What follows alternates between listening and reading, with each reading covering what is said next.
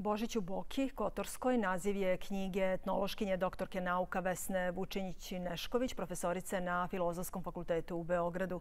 Sa njom je razgovarao naš kolega Mijomir Maroš o specifičnostima Božića na našem primorju. Emisiju Zapis Božićno sjelo možete pogledati opet, dakle reprizno danas na prvom programu u 17. Kulturna raznolikost Boke Kotorske uslovljena bogatom istorijom inspirisala je profesor dr. Vesnu Vučinić-Nešković da istražuje Božić u Boki Kotorskoj. Na Luštici sasvim arhaično praktikuju nalaganje badnjaka i do sedam puta. U periodu kada sunce počinje da napreduje, kako se to kaže u narodu, dakle kada dani postaju e, da bivaju duži, što je znak naravno napredovanja sunca, pojačavanja njegovog pozitivnog dejstva na život ljudi i na plodnost koji su naravno bili uvek i danas jesu u centru pažnje čovečanstva. E, a još od antičkog doba, a možda i ranije, taj period je slavljen, obeležavan, dakle, velikim gozbama i paljenjem vatri dosta porodica danas slavi recimo tri puta, a to su ovi, to, su, to je na večer glavna tri božićna praznika. Znači, badnje veče, uoči bogojavljanja i uoči Vasiljavdana, odnosno Srpske nove godine. Uh, ovi ostali puti su vezani za ostale praznike u božićnom periodu, završno sa Savindanom. Široko slavljeni vjerski praznici prije drugog svjetskog rata su od 1947. godine bili pod pritiskom ateističke ideologije. Zbog toga vjerske proslave javno nije su bile poželjne, a privatno je bilo autocenzure. Oni koji su htjeli da prave karijeru, koji su bili u partiji ili u tim bliskim krugovima, jednostavno su se toga odrekli. Tu su ključnu ulogu u održavanju ovih praznika, kućnih, kako Božića, tako Uskrsa i Slave i drugih, odigrale starije generacije, porodice, znači bake i deke koje nisu hteli, koji nisu hteli da se odriču svojih praznika, pogotovo nekućnih praznika vezanih za ognjište. Jer oni su sveti, prosto svaki čovek osjeća da, da ne treba da se odrekne onoga s čim je rođen, odrastao i što osjeća da doprinosi nekom, nekoj dobrobiti njegove porodice.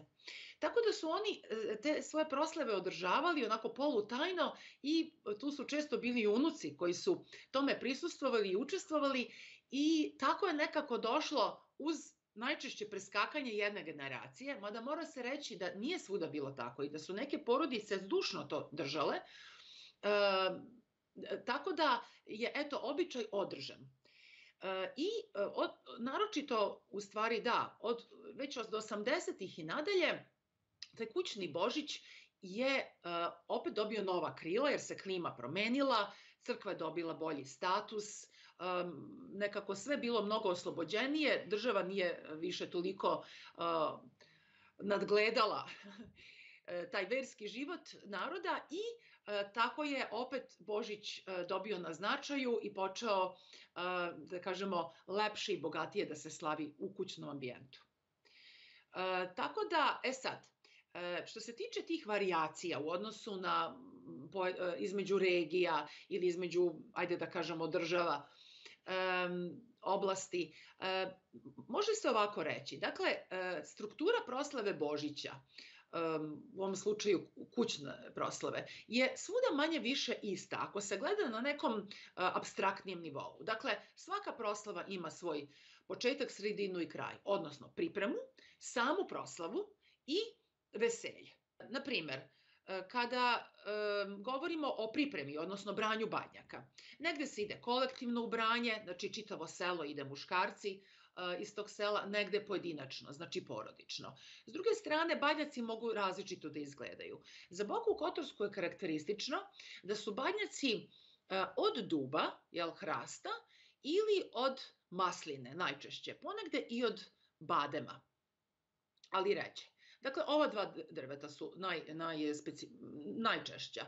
E, dalje, e, banjaci imaju svoj e, specifičan izgled u boki. Dakle, to su uh, grane, manje ili veće, po prilici, koje se uh, zarezuju na krajevima uh, pod pravim uglom i pravi se jedan urez malo dublji koji eto je karakterističan za boku i kiti se domaćim zelenim divljim rastinjem. Obično su to tri vrste biljaka, somina, lovorika, su uvek tu obavezne i um, takođe se uh, taj ukras na badnjaku vezuje crvenom vunenom vrpcom. Vrlo je bitan broj badnjaka. Uh, svaka porodica određuje koji će to princip biti kada bere badnjake. Dakle, da će biti jedan, koji simbolizuje uh, Isusa Hrista, da će biti tri, prema Svetom Trojstvu i da li će biti prema broju muških članova porodice i često plus jedan za napredak. To su tri osnovna principa za određivanje broja badnjaka. Takođe sam pomenula ovu tradiciju nalaganja u, na različite večeri, znači koliko puta će nalagati u božićnom uh, tom periodu uh, i tako dalje.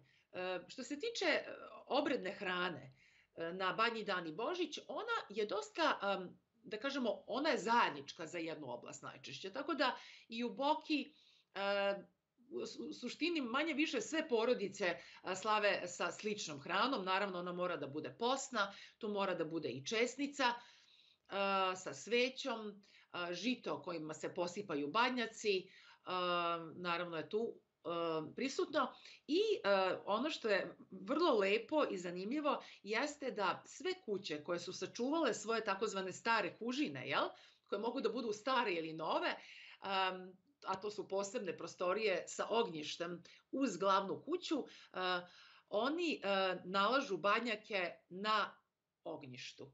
Ako ga nemaju, to se čini u peći na drva ili u nekom kaminu, ali najlepše je ako postoji to ognjište oko koga se raspe zave, lovorika i somina i tu se čak i sedi Iako Božić prvenstveno povezujemo sa kućnom proslavom, javne proslave su od uvijek postojale, kazuju naučna istraživanja. Nosioci su razne društvene institucije. Vladarima je na dvor badnjake donosila vojska, a oni ih nalagali u ođaklijama u prisustvu porodice, političkih krugova i stranih diplomata. Vojnici bi gdje god bi se zatekli imali priliku da obilježe najomiljeniji hrišćanski praznik. Sve to ukazuje na paralelnu privatnu javnu proslavu Božića od antičkog perioda do savremenog doba.